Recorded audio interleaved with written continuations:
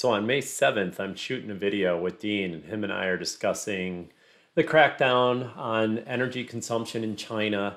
And it dawned on me as we're having that conversation that Bitcoin mining is going to be something that people might not like if they start understanding how much it takes away. And I've included the clip here so you can see it from May 7th, but it's part of a bigger video which talks about China, their energy issues, and how Mongolia is going to crack down on people who are mining Bitcoin. Uh, a thought in my head for long term around Bitcoin and this mining component, right? I mean, we haven't really defined mining as for our audience, but we'll get into that in a moment.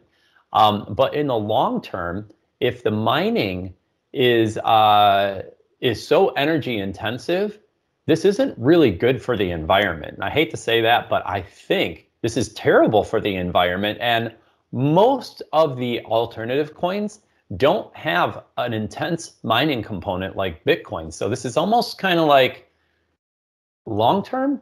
I could see Bitcoin really getting hurt by this as as people start saying this is not a green technology. This is not a thing that we should be doing. People who are mining Bitcoin. Um, in the video, we suggest that that will just move to other parts of the world, which is absolutely true. But eventually, this might have an impact on Bitcoin and put more emphasis on alternative coins that don't use this energy intensive process. So, just five days before I had this epiphany about Bitcoin mining, uh, Elon Musk pulls out of using Bitcoin to purchase cars because he believes that Bitcoin mining is inefficient and it's costly and it's not green. Elon, are you listening to me? This is the second time that you've done this. Number one, you decided to get into crypto and use it for your business, something I started two years ago.